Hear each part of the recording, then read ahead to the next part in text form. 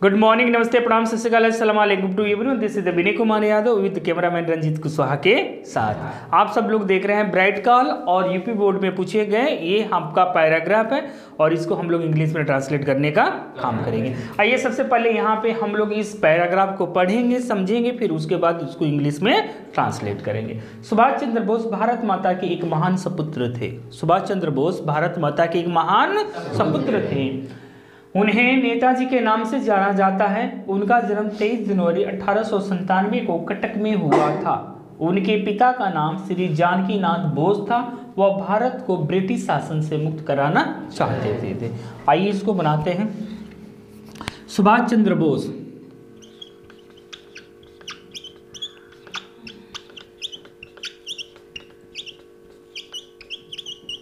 क्या थे? Was. A. Was the a नहीं लगाएँगे. Was Subhash Chandra Bose was the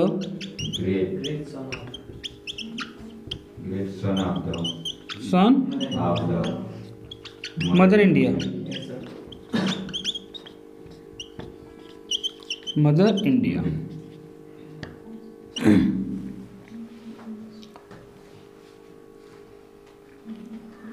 उन्हें नेताजी के नाम से जाना जाता है। जाना जाता है ना? He is known known as Netaji. Ji के नाम से जाना उनका जन्म 23 जनवरी अठारह को कटक में हुआ था। He was ही वाज कब? He was born on twenty third January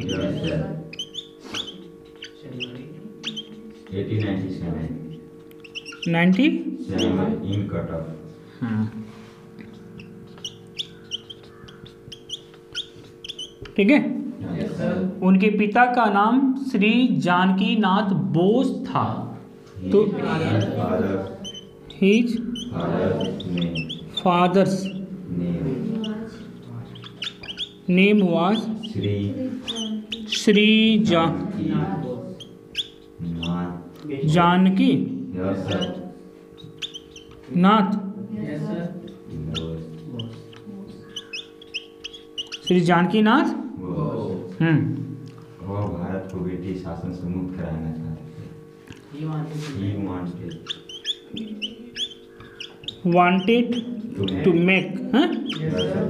क्या make India he wanted to make India हाँ फ्री कहाँ से?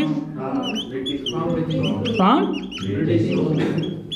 ब्रिटिश रूल ठीक है? Subhash Chandra Bose was the great son of Mother India तो इस तरीके से ऐसे ही पैराग्राफ को आप लोग इंग्लिश में ट्रांसलेट करेंगे. Thank you too much for watching this video and please don't forget like share and subscribe thank you